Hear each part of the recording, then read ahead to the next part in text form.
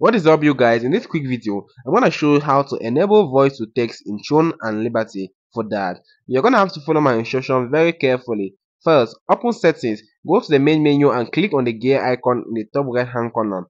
Then, in the settings menu, select sound tab, then navigate to miscellaneous. On the left side, click on miscellaneous, enable or disable voice to text.